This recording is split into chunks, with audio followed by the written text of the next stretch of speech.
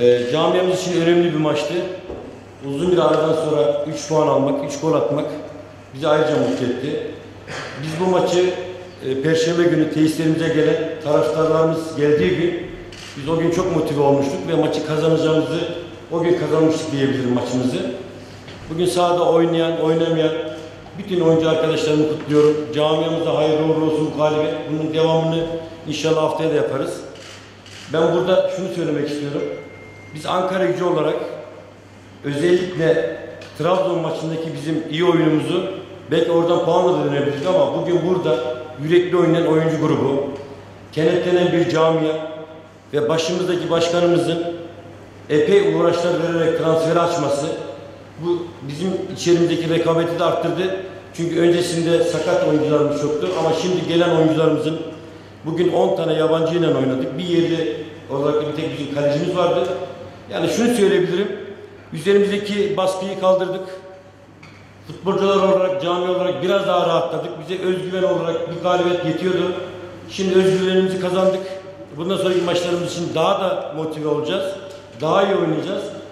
Antrenman düzeyi düşük olan oyuncuların antrenman seviyesini arttırarak, içerideki rekabeti arttırarak daha iyi bir Ankara gücü izlettireceğiz.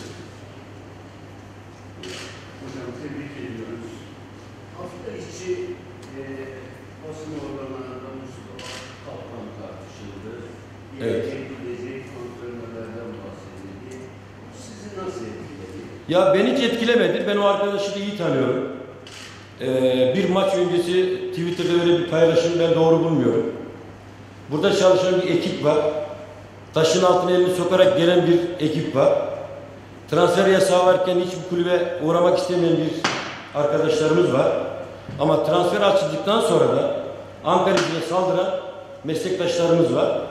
Ben şunu söylüyorum ya bırakın biz bir çalışalım. Biz bir şeyler yapalım. Ben bu kulübün hem oyuncusuydum hem geçmişte teknik direktörüydüm. Ben ekibime sonsuz güveniyorum. Biz burada daha da iyi işler yapacağız. Ama benim tek üzüntüm maça çıkmadan bu tip şeylerin paylaşılması bence doğru değil. Örnek verebilirim. Gençler Birliği ilk yarı 41 puanla kapattı. 4 maç kaybedebilir ama ben kendim bizzat me- mesaj çektim. Hocanızdan devam edin. Çünkü neden? Ya bazı şeyler ülkemizde kötü gittiği zaman hemen hocayı suçlamak doğru bulmuyorum ben. Eğer biz bu tip işleri aşarsak daha da yerlere geliriz ülke olarak söylüyorum. Ama biz yerli oyunculara çok şans vermemiz lazım. Bizim elimizdeki yerli oyuncularımız, altyapıdan gelen oyuncularımıza tam güvenemiyoruz. Ondan dolayı da biz bugün 10 tane yabancıyla çıktık. Yani şunu söyleyebilirim. Ya bırakın da biz bir çalışalım. Yani Ankara gücü tamam büyük bir camia, herkes gelebilir, herkes çalışabilir.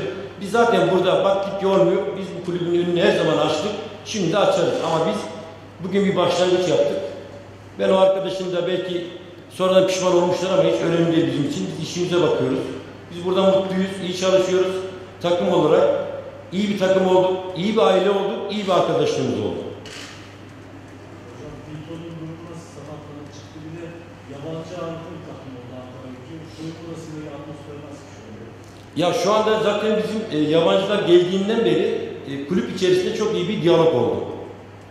E, tabii ki bunların çoğu gelen ülkelerden de biraz maç eksiğinden dolayı sıkıntılar yaşıyorduk. Pinto'nun durumuna da gelince büyük bir ihtimalle e, Kasım'da bir daha önceki bir sakatlığından dolayı yükseltme var. E, yarın MR'a gidecek. Büyük bir ihtimalle önümüzdeki maça yetiştirebiliriz ama yetiştiremesek de bugün bir sol bek bulduk. Moke. Bugün de gayet de iyi oynadı. E, böyle gittiği zaman da eğer Pinto oynamazsa biz oradan Moke'yi düşünüyoruz. Ya Oscar değişikliği şöyle yaptık. E, top genelde rakipte kaldı. Oscar o bizim istediğimiz öndeki baskıyı kuramadı. Orgel'e yakın oynamadı. Ve uzun bir süredir de o maç oynamadığı için onun e, zorluğunu çektik biz. İçeride de konuşmamda şunu söyledim biz e, arkadaşlara. Biz kesinlikle Oscar'ı değiştirmemiz lazım. Yoksa biz gol yiyebiliriz dedim. Çünkü rakip de üstümüze iyi geldi o. Oscar'ı değiştikten sonra dengeyi de kurduk. Golü de bulduk arkasından. E, sonra da Sako'nun gerilmesi oldu. Ondan dolayı da ilanı koyduk. O da iyi bir değişiklik oldu. O da gol buldu. Uzun bir aradan sonra gol attı. Yani bugün her şey güzeldi bizim için. Saha içerisinde bir birlik beraberlik vardı. Bir arkadaşlık vardı. isteme arzusu vardı. Bizi maç sonuna kadar de, e, destekleyen taraftarlarımızın desteğiyle de oyuncularımız daha da ateşlendi. Ve maçı kazanmak için de her şey yaptık. Sonuçta da kazandık, mutluyuz. Bugün Altay Bayır'da Recep var. Evet. Ya Altay e, ülke futbolu için çok önemli bir kaleci. Ankara için de önemli bir kaleci. E, bugün bana sorduklarında kaptanlığı kime verelim dediler. Benim ilk söylediğim şey Altay'a vereceğiz, onlara edeceğiz onu dedim. Sonrasında Ante'yi çağırdım, gençleri bildiğim, bildiğim için. Ante'ye dedim ki, kalecimiz kaptan olarak çıkacak ama bizim ikinci kaptanımız sensin. Sahadaki bütün organizeyi sen yapacaksın. Hem Türkçe bildiğinden hem İngilizce bildiğinden. O da bizim için artı oldu. Ee, ayrıca ona da teşekkür ediyorum. Çünkü neden? O da uzun bir aradan sonra oynamadı ama bugün herkes iyi oynadı. Bazı arkadaşlarımız daha da iyi oynadı. Sonuçta biz bir ekibiz. Hep beraber hareket edince de sonuçta 3 gol, 3 puan bizim için çok güzel bir şey oldu. Ekranı ne zaman? Ya Hector'un şimdi şöyle, e, o daha üzerindeki jet lag'ı atamadı.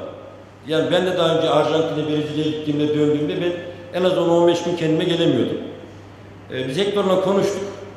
Eğer bugün e, örnek Pinto'nun sakatlığı olmasaydı biz maçın sonlarına doğru atmayı düşünüyorduk. Ama Sako gelip benim arka dönemde gerilme oldu deyince biz ilanı sokmak zorunda kaldık. Hector da yani yakın zamanda aramıza katılacak ama antrenman düzeyleri Oscar ve Hector'un düşük.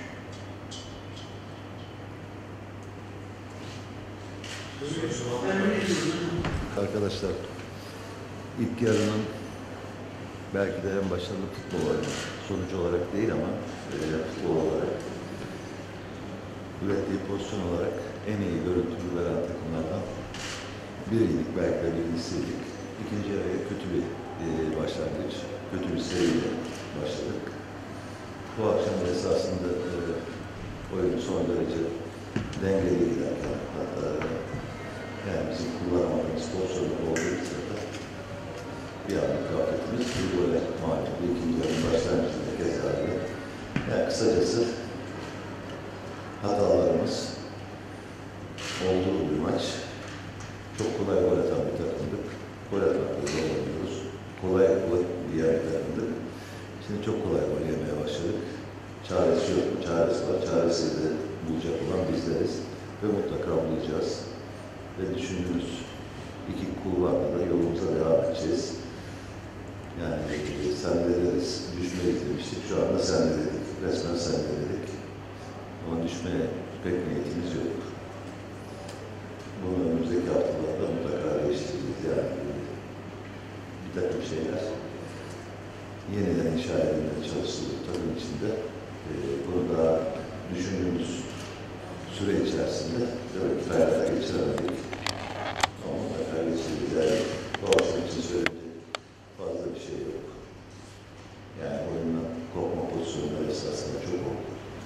Dönüşü de çok oldu. Kısacası yani kaybettiğimiz bir maçın çok fazla eleştirisini burada yapmam mümkün değil, doğru da değil. Ama eleştirilerimizi kendi içimizde yapacağız çünkü bu çizgiyi mutlaka kırmak, değiştirmek mecburiyetindeyiz. Benim söyleyeceklerim bu kadar. Hocam çok iyi başladığınız bir maç. 30 dakika oyunu sevdiniz. Bugün kırılma noktası neyle? Yani kırılma noktası esasında e, ilk yarı değil. Yani e, bir organizasyon sonucu yediğimiz bir gol olmadı. Bir anlık gaflet, oyundan kopma sonucu yediğimiz defans arkası bir topta oldu. İkinci yarının başındaki e, golü de hep birlikte izledik zaten. Yani oyunun bir yerde e, kırılma noktası oldu diyebiliriz. Pozisyonlar gelmedi. Biz ikinci yarıda bize pozisyonlar geldi. Oyunu kurtarabilecek pozisyonlar geldi. Ya vuruş tercihlerimiz yanlıştı, e, ya son oynayacağımız son pas tercihleri, final pas tercihleri son derece yanlıştı. Esasında yanlış değildi, son derece yanlıştı. Yani kırılma noktası bir tane değil esasında. Oyunun içerisinde birkaç tane oldu. E, söyleyecek bir şey yok yani çok e, puana ihtiyacı olan bir karşı e, büyük bir mücadele ortaya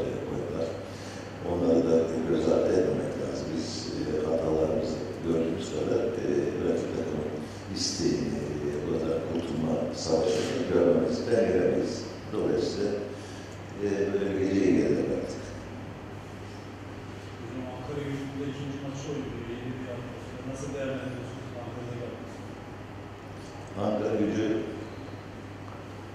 yani aşağı